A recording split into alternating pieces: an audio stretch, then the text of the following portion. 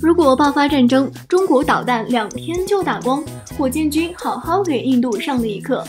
印度曾经对外发表过一份报告，表示如果中国使用战术导弹攻击他们的机场的话，那么只要他们能够保障到位，两天以后中国就会因为导弹耗光而无法进攻。不过在他们这边的报告公布的第二天，我国的火箭部队就在西北地区展开了大规模的演习。而根据媒体公布的画面，我们可以看出来，这一次除了展现了大批的东风导弹以外，还特别对外展示了战术导弹攻击机库的画面。印度一直把中国当成一个非常重要的敌人，而且对于抹黑中国的军事实力都非常的积极，甚至他们的专家还曾经强行把印度国产的 LCA 战机和我国的歼二零放在一起比较，并且在他们的言语当中也表示这两款战机的战斗能力是差不多的，而且他们的社交媒体上也经常会有一种言论。那就是中印两国一旦开战的话，他们就会发射大量的核武器来攻击中国。但是事实上，大家知道，中国在核武器方面的研究要比印度先进了很多。